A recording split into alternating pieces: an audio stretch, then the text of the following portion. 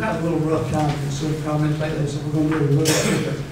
The public comment is during comments only, not outburst or raving and ranting.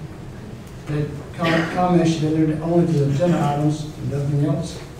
Comments will be two minutes long, no sharing the time. No personal attack during citizen comments, and keep your language clean. If you're not, if you have a concern not on the agenda, contact the council or staff ahead of time and they put you in the right direction. They can present, present your concern to a committee, or you can contact City Hall about getting on the agenda at the next meeting. Remember, you represent the rest of the world, since our meetings are streamed live, make us proud. Now, it's time for citizen comments.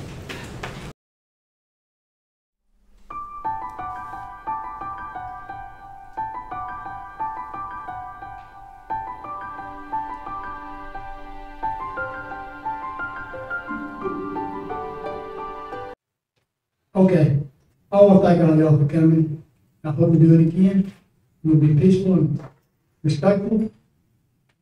And I do listen. Sometimes I'm not always listening too, but I do listen.